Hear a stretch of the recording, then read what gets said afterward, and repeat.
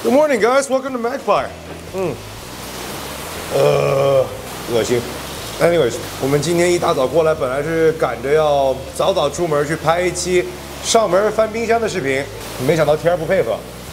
哎，算了吧，刚好可以借这个机会吃点早餐，和你们聊一聊游戏规则。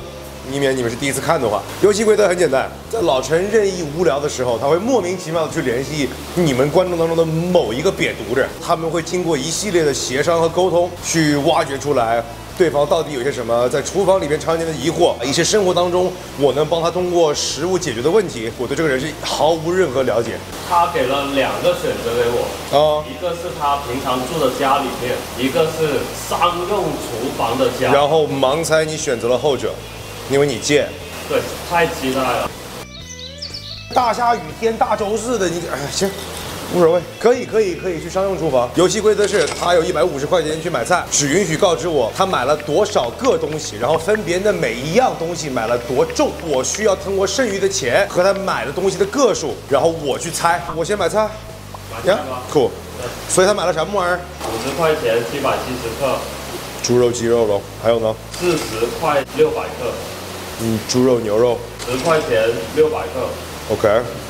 葱姜蒜，蔬菜类，九块钱九百三十克。一桶白水。好，明白了。今天八月十号，上一期还没有播哦，所以这一期四十一块，它是完全自己发挥的，啊，所以不是一系列的巧合是吧？对，不是你们自己看着办吧。你想听一下他想解决什么问题吗？家里都有两个家，一个商用厨房了，还有什么问题好解决？他的问题不在他家里，是他要去留学，去英国。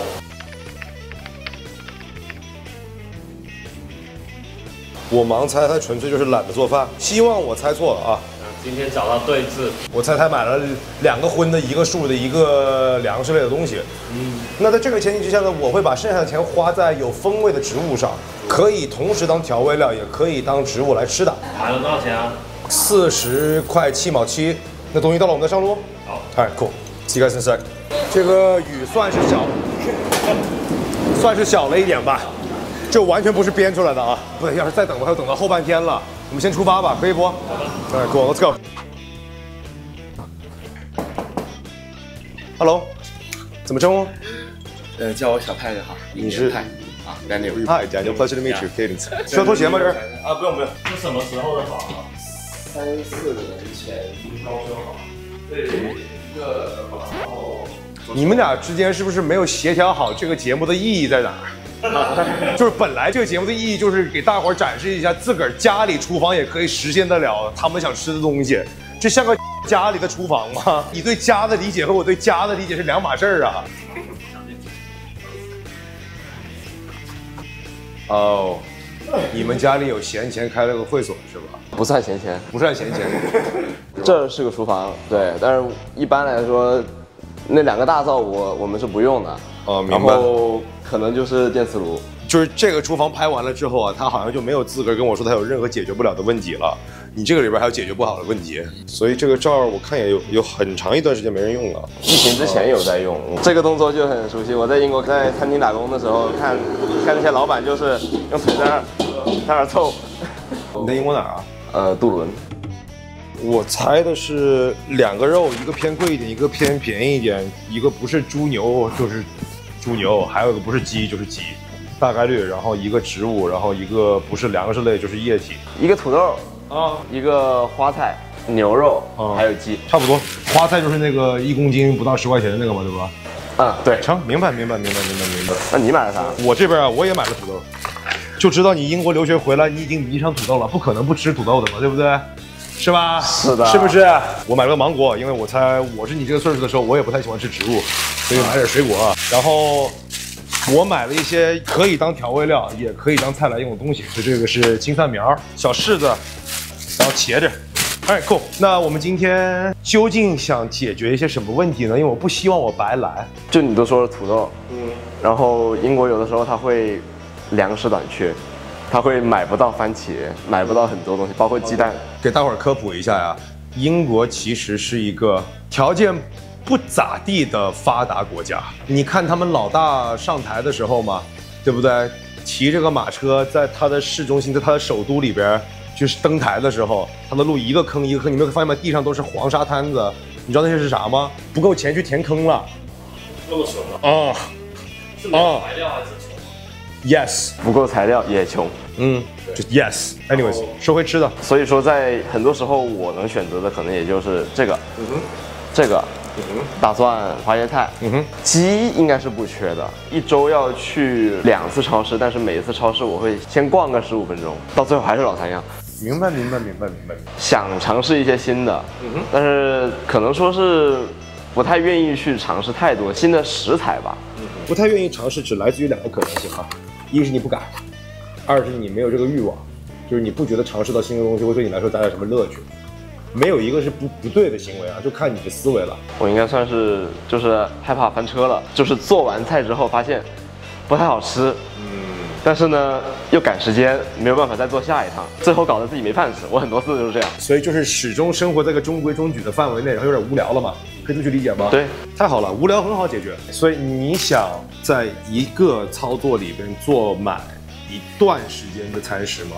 还是你想现做现吃？你想倾向于哪个方式？现炒，就是你喜欢就是快速操作的那种风味。对这不意味着你不能提前准备，但是你需要准备一系列你可以马上用的东西。所以我盲猜。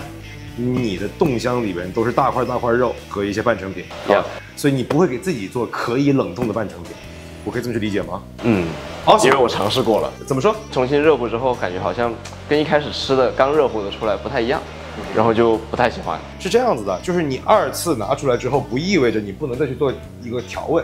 行，那我们先得把所有风味料组在一起，然后主食再组在一起，然后主题再组在一起。你的鸡，你的牛，这个这个这个，OK 不，然后你的所有风味料都搁这儿了嘛，对不对？对，Be honest with yourself. Do you like these things? Yes or no?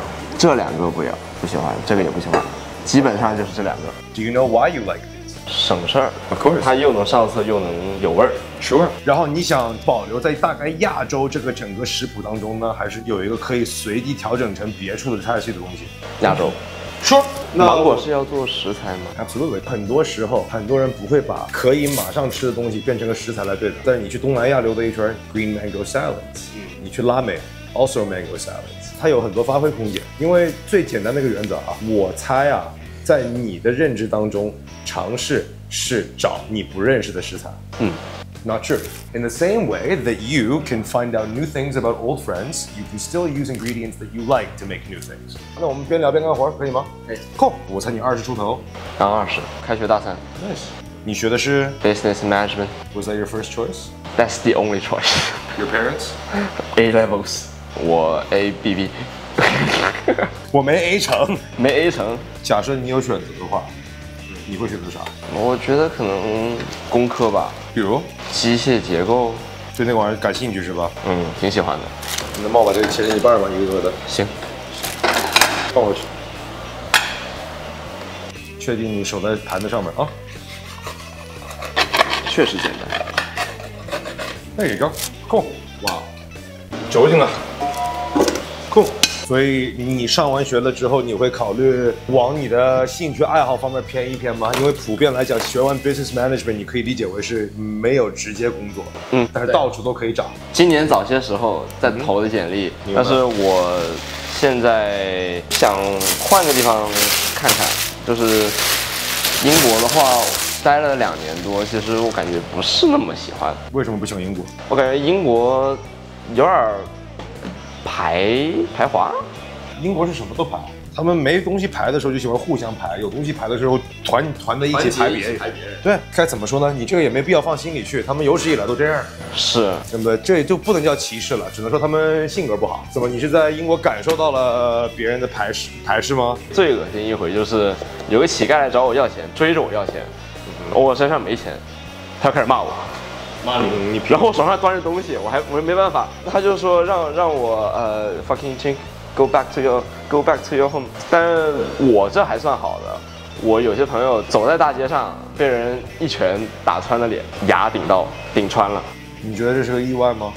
我听了很正常啊。所以有一句话说啊，去过国外才会特别爱国，你觉得是这样的吗？是是安定一点儿，哎，安定很多，但还挺喜欢他们做四休三的。那然后你同时又喜欢那个悠闲，然后同时又觉得他们村儿那就是很冲突啊，你不觉得吗？嗯，是这样的，普遍来讲，全国所有国家都是，他们始终不会让你忘记你是过去做客去了。在他们的认知当中，我们是很没有礼貌的客人，什么都抢，什么都买，什么都博。但是在我们的认知当中是，那谁让你懒得干了？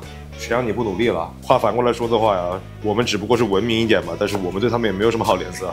嗯，对啊，你们更是了，就因为我讲一个非普通话的语言，我就是个假洋鬼子；就因为我长个胡子，我长得谁都像，就不像个中国人，一样的概念，只不过是你不动手而已。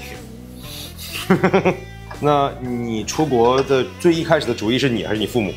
就有点兴趣，然后后来就是高中成绩一直掉，然后我爸妈看着，哎，不行了，与其说等到最后才宣判啊，不如早点早点跑路。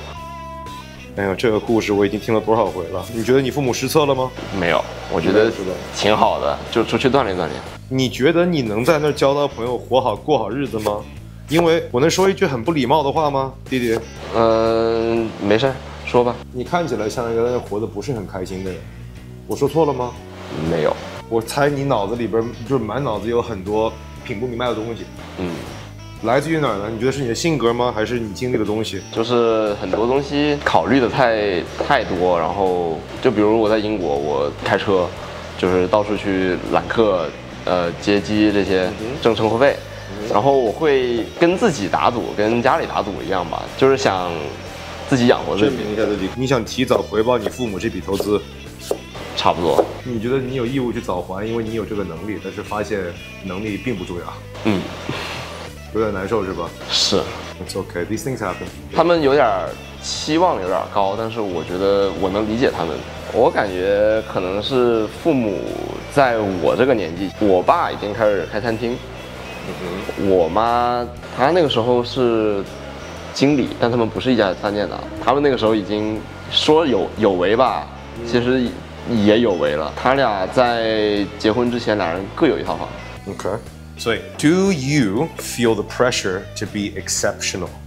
Yeah，Why is that? 总不能栽我这这一片上了，就是他们打的家业。这是你对你自己的要求太高了。我爸曾经跟我说过，前半辈子你按照我的路线来走，早晚我会没的。我没了之后，你还有后半辈子呢，那你对得住谁呀、对不对？前面逗我乐，然后后面我没了，你逗谁乐？那你左不开心右不开心，反过头来还得怪我。So on this note, I'm going to ask you: Do you feel like you have a responsibility to make yourself a happy person above and beyond all else? Do you think that you should be happy before you should be successful? Of course， So why aren't you? 因为我问你嘛，你觉得你聪明吗？哎，可以还可以是吧？Are you happy? ，Not really。 How smart can you be if you don't know if you're happy? Of course, that's a very rude thing for me to say, but I'll leave it to you to to figure out what it all means. 打断一下我们的深度来回啊，我先把茄子切成了大概片儿，就大概宽面这个样子吧，啊对不对？跟芡了盐，要是有削皮刀的话，我就用削皮刀了，我就把它直接改成面。因为你现在很多时候嘛，你不是跟我说嘛，你喜欢炒的东西，但是你的半成品用完了之后，从冻箱里面拿出来，始终是缺点什么，对不对？好，那我们现在呢就开始准备生半成品。生腌好的鸡肉，生腌好的牛肉，拌好的茄子，将来可以直接从冷冻里面抓出来一小台一小台，准备好的半成品，直接在一个热锅里边霍霍一下，划拉一下，给个汁儿，结束。盐给完了之后呢，它自己会出水，我们先把它放在一个漏盆里啊，蒸笼也行，待会儿软了、蔫了就出水了，然后我们可以拿清水冲一冲，把表面的盐给洗掉，这样就可以调好味的茄子面条了。今天最好就是利用一些非常快的方式，特别是那种不太考验刀工也不太占面积的东西。Let's see, do a little mango, let's do some of that, maybe a little bit of salt. 然后我把这个，你不嫌弃我吧？你不嫌弃我就直接把这肉给撸下来了啊。撸撸撸撸，Interesting。你喜欢吃什么形式的土豆？泥、块儿、炸的、煎的、喷的、溜的？我只能说不太喜欢泥。不太喜欢泥是吧？Neither do I。所以通常在家里啊，我做土豆的话呀、也就是切大块儿，然后呢，我在调味非常狠的盐水里边呢，先把它煮一个半熟不熟，就是水煮了一半了之后啊，它就不会发黑了，它里面的很多酶性啊已经拜拜了。来，我先去煮一下土豆。老陈要是不看我用大炮的话，他会很不舒服，他就是知道你家有哇有大炮，马上过来。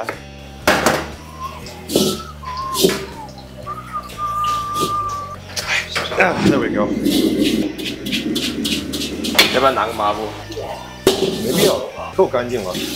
这个手法很容易被嘲笑的。你以为是什么手法？就是只要你够自信的话，啥都显得像你很会似的。刚好借这个机会啊，问你一下最无聊、最经典的问题吧。你蹬腿前最后顿饭吃啥？我可能想喝汤，汤？对什么汤？，whatever，炖汤就行。就是那种非常广式的老火汤，对不对？OK，cool。所以在这个时候呢，土豆其实你就可以在这儿啊放凉，你这个也是个备料备完了。所以你可以想象吧，你不可能每次都去焖饭嘛，然后你可以把土豆当成一个主食来吃，这也是为什么你买了土豆。对，我们回到这里来吧，老陈，可以吗？所以你为什么选择今天买牛肉呢？因为我在英国所知道的牛肉做法只有切成片儿，呃，然后炒熟。是啊，但是你也只喜欢吃这个类型的牛肉啊。呃，对，通常你切成丝儿炒熟翻车翻车到哪儿啊？就是你不喜欢它的效果是因为什么？水太多，它的水又不是那种肉汁儿的感觉。但是，如果说我要把它炒干点儿，嗯，它那个肉它又老了，对，控制不好那个。我大概明白你什么意思了。OK，所以这个时候呢，你就可以先把它切成这样的片，然后你需要的时候呢，你可以在你做的时候从冷冻里面拿出来，再给调味料。你只需要在冷冻之前呢平躺出来。蚝油，一点点这个。Now let's make something. Some pepper 哇，这种是最烦人的，这是拿两个塑料磨出来的，所以它只能磨那么慢。是 Fuck it, you take over for a second. 啊，我老了。这就是我们刚才给了盐的茄子，给完了之后它不是蔫了吗？蔫了之后我们只需要上一下水。它现在里面的苦水已经出了，它现在就是一个有点嚼头、一个软蔫蔫的东西了。你可以拿它快炒，就不会变成泥了。差不多了，挺多的了。够了。所以我看你这些手法呀，其实不像是个不会做饭的人，就是看你乐意不乐意。但也不太像会做到哪去。也没有什么会做到哪去。比如说我嘛，我到现在不还在胡编乱造吗？这个花菜你有什么想法？除了正常的给它摘成一朵朵，还有什么形态？你可以把它打成一个泥啊。花菜啊，我通常喜欢炸，然后可以拿它去作为一个调味料，比如剁成一个呃细的粒儿，冷却了，给点橄榄油、蒜，你也可以拌着吃，完全看你。但是我通常会从炸开始。来，油够不够？这有桶装，这个方便点。哇，这个油，这个里面的油就是这个油吗？对不对？对吗？嗯呐，你闻这个味儿啊，这就是塑料味儿，就是脂肪有非饱和脂肪嘛，非饱和脂肪吸收了环境里面的垃圾之后就变成这个味儿了。所以就看你能不能接受了，我们只能上个火试一试。所以你们这个地方打算经营起来吗？一般来说，客户都不会用到这个厨房。现在就是做民宿嘛，是吧？这个很大可能性啊。我们今天晚上只是装个样儿，这个我不敢吃，我也不敢吃，我也不敢吃。谁敢吃啊？但是我倒是很好奇，我想闻闻这油单独是什么味儿的。它是酸的。哦，你说那个味儿吗？那个臭味儿吗？不，那个是你的抽烟罩里面的味儿。其实食材好坏，绝大部分时候，我通常会说的话是，不管它是好是坏，你闻的不得劲儿，就是不能用。谢谢哈。还好我们今天人手足够，可以临时去解决补一下锅。这个放了四五年熟成调和油的问题，我们再重复一遍喽。行，cool awesome。嗯，花菜可以掰开，你喜欢泥吗？我不喜欢泥，我们可以炸，太好了。可以炸。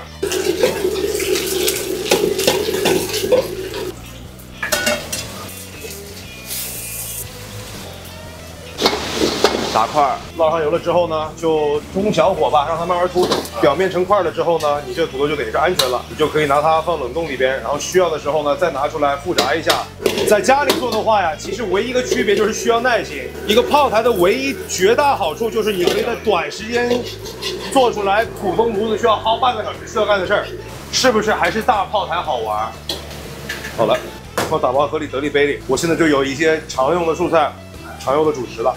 来，鸡你会选择怎么调味能不弄个酸口的？？Yeah, sure，当然可以了。哇，好大一块油，是你喜欢鸡油吗？可以。还可以是吧？我发现你的啥都是还可以状态。你会觉得自己没有什么主见吗？干嘛这样子骂他？是屌回去。没有，因为我我也是一个没有主见的人，怎么说所以我经常会听别人的建议，呃该怎么吃该怎么做是吧？因为每个人性格不一样嘛，但是我觉得没有绝对好坏。很多时候，很多事情到我头上，我很难去说推掉。我觉得一个人有义务去知道他不喜欢什么东西。我觉得一个这一辈子必学的一个硬门、硬功夫，是不带解释的拒绝。因为我猜你的第一反应是啊，我不擅长于拒绝或 say no 的原因是因为我没有好理由。嗯，你不喜欢不够吗？你为什么需要有个为什么？直接就拒绝，可能会觉得，哎，这个人怎么很没礼貌？你为什么不反过来说他让他问你的时候，他为什么不考虑他自己礼貌不礼貌？但是我可能会已经就是算了一下，我发现这个东西没有太大坏处，那我就可能会去做。坏处是让你养成了没有拒绝人的习惯，嗯，这是最大的坏处。Awesome，我先把机油煸一煸啊。哇，你这个抽烟罩好臭啊！哇，让它慢慢煸。记得你说在国外的时候自己会打工挣钱嘛？啊，开车。那你是你爸妈不给你钱还是怎么的？我会尽可能用自己的挣挣来的钱去日常消费，对自己挣来的钱花着还是放松一点，舒服一点。但是我盲猜这不是你父母对你的要求，是你自己对你自己的要求。啊。对，想要改善自己生活质量，但又不想花那么钱。但是你是明知道，要是你要的话，你父母会给你的。嗯，我去煎个鸡，我马上回来啊。老陈，你们俩先聊几句吧。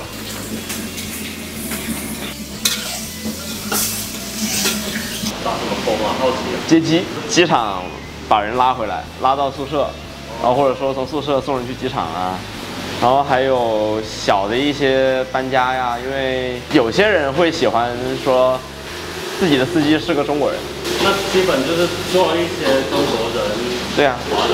我也不爱做生意，因为我被骗过一次，怎么骗呢？忽悠我，就是说，呃，帮他搬家嘛，他是已经先把东西放在这儿，因为要拉几趟嘛，然后他按照每一趟来算价格。我拉完一趟回来之后，他说，哎呀，就两步路，你往上去搬一下吧。一上去看到一座山，然后他说你不搬完我不给钱，到最后也钱没给够，哦有没有发现还是你太老好人了？不会拒绝，can't say no。你想改变吗？我觉得要改一改，得硬气的。你继续。那他在英国打工被人坑了，被人坑了，怎么说被人？坑的原因还是，老好人，很像他们干的事儿啊，所以你对他刚刚的经历有什么评价吗？活该。我刚才想的也是这个字，活该是一欠长一智，但是还好你这一欠不算贵，啊、赚了。这么去想吧，赚了。对啊，All right，我这里边目前为止是我喜欢的味道，我先给一点点蚝油，因为 Why the fuck not？好，所以目前为止这是常规操作了，就是第一期上面的视频也是嘛，一系列我喜欢的风味料，鸡给它上个色，提炼点风味出来吧，对不对？然后给点液体让它炖，慢慢炖，炖到你喜欢为止，结束。你这有保鲜膜吗？找一找，不找不找，我只是示范一下。就比如说啊，这是你的备料，这是你的备料，都在冰箱里，保鲜膜封起来。对，假设你某一天想吃饭的时候，你这边已经保鲜膜封好了，一排一排，直接可以摞起来。土豆也是摞起来的，花菜也摞起来。再去拿这个盘子啊，喂，喂，别骂了，别骂了，我感觉打开这个厨房的时候就有点像收二手车，除了喇叭哪都响。你还有自己出去收二手车的那种习惯是吧？对，哪买得起一手车啊？你收回来你最骄傲的一辆车有吗零四年的 Z4？Oh, is that four? 一八五第一代，Nice. 所以这个房车应该很贵吧？很便宜、啊。really. 在英国车算是最便宜的样子。我只是玩不起大排量，因为大排量的保险太贵了。嗯，车两千五百磅，我上保险要两千磅，两千五百磅大概多少钱？四万块钱。英国的保险是真的太贵了。就是你可以简单这么去理解吧，在英国没有眼不见心不烦的这个概念，眼不见心更烦，就是所有你看不见摸不着的东西都很贵。哎，他们平均大概工资，如果一个月有多少英镑？两千至三千吧，那税后的话，你能拿回家就是两万五，两万中旬吧。是，大概百分之三十左右会直接交给税。我们几个兄弟凑在一起，想往死里吃，在深圳一个都市还能找到人均几十块钱的地方吧？对啊他们那里保底吃个快餐也是一百来块钱人民币。公交不方便，所以我必须得有车，但是有了车也贵，公交也不便宜，没有一个东西是准时的。对，我记得我打打工最惨的有一次就是下班晚了，错过末班车，爬坡爬半个小时回家。杜伦又是个特别不繁华的城市，五点以后街上都没什么人的。接近五点已经没啥人了，就是他们跟你说营业时间到五点钟，你四点半进去都不好使。对，所以嘛，不是说哪儿好哪儿不好啊，但是你们自己去品吧，你们到底想生活在哪儿，各有各的好处和坏处嘛都。有各有各的受罪法。对啊，嗯，挺好。没有，还没到那个时候呢。嗯，然后尝一尝，嗯，酸甜也刚好。我觉得这个飘在土豆上面会最好吃。我这上面是有温度的还是没有温度的？是有电的吗？火力也不用那么大。All right，我们这边准备好了，所以你跟我说嘛，对不对？你目前为止最大一个疑惑就是你觉得在锅里边儿，就从冷冻里边拿出来的东西不够香，是不是？嗯，好，很简单。你说的没有任何不对，这也是为什么厨师那么矫情嘛，说你要马上吃啊，要现在吃，要不然就不好吃了。原因很简单，是因为他已经把这些食材做到它的发挥到极致了。对所以在你不吃的过程当中，它会流失掉它的品质和灵魂。那怎么去解决这个问题呢？那你可以在半成品里边再一次加点生料。你想吧，我炒这个土豆的话，我是生土豆，煮完了之后再放锅里边炒到脆了之后，然后我再放这个蒜苗，然后再炒一炒，然后再做最后调味，然后再出碗嘛，对不对？好，那这个四个步骤里边，它现在目前为止停留在土豆刚炒完，那我是不是可以往这个里边撒一点生的蒜苗，把这个放冷冻里边，这样它下锅那一瞬间，它至少还有没有被煸熟的蒜苗味儿，所以一碰到热油，你吃到的是这个新鲜刚被炒出来的蒜苗的味道，懂了吗？就就更有点灵魂了，就不觉得那么无聊平淡，懂了吧？酷，你会颠锅吗？会太好了，来颠颠，来你说下锅我给你下，我帮你拿下手了，差不多。差不多是吧？对，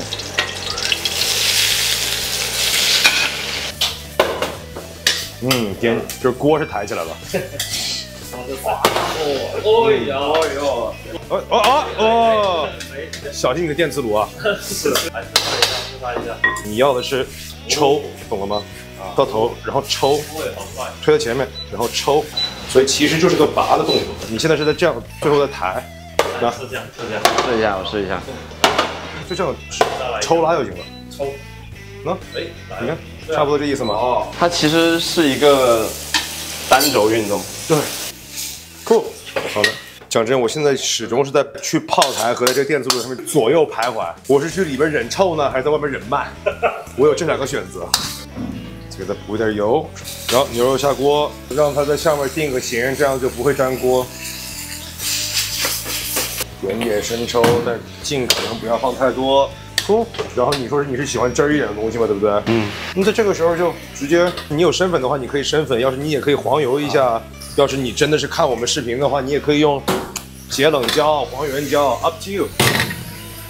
我放蚝油就等于是放了点黄原椒的，刚好同时也调味了嘛。然后呢，这个时候呢，我也就会准备出锅了。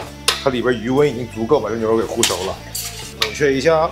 讲真的，嗯，没有翻车，你可以试。来啊，嗯，来老陈啊，啊老陈啊啊，那个嗯，好像，是吧很像很像。西方食谱文化当中也是蒜香的东西，加上黑胡椒，加上牛肉，都差不多嘛。那我们现在模拟一下，嗯，看看这焖的怎么样了。讲真的，做鸡这个玩意儿太方便了，咋做都好吃。你试试。缺钱吗？我感觉不缺，太好了，不缺。